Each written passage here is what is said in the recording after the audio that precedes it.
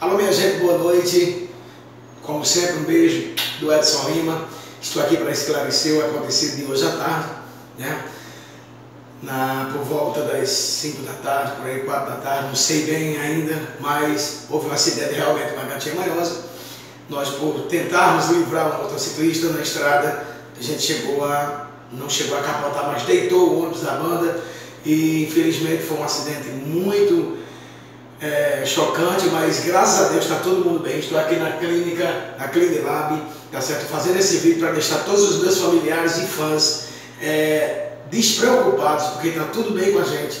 A maioria das pessoas já foram, todos eles já foram atendidos, é, nada de grave aconteceu e eu quero deixar vocês cientes de tudo. Qualquer notícia que venha dizer que houve algum óbito, algo dessa, é, nesse gênero, não aconteceu. Graças a Deus está tudo bem. Estou aqui também para pedir é, desculpa às pessoas de Araripina, onde seria o show de hoje à noite, meu amigo Neto, pessoal daí que fazer o aniversário da Avalon. Felizmente aconteceu isso, nós estamos na estrada sujeitos a tudo, então isso aconteceu infelizmente, mas logo logo a gente marca outra data para fazer em Araripina. Quero pedir desculpa a cada um dos, das pessoas de Araripina e dizer que está muito sentido também com o acontecimento.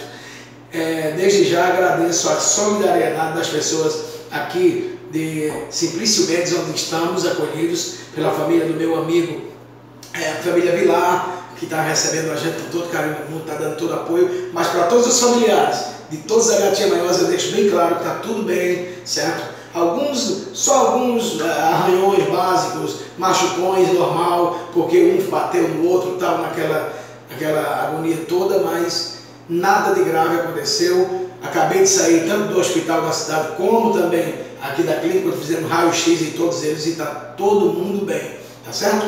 Logo, logo manterei mais contato com vocês, mas qualquer notícia que venha a falar sobre algum óbito, alguma coisa assim, fique tranquilo, todos os nossos familiares, estamos bem e graças a Deus nada de grave aconteceu. Boa noite a todos, obrigado.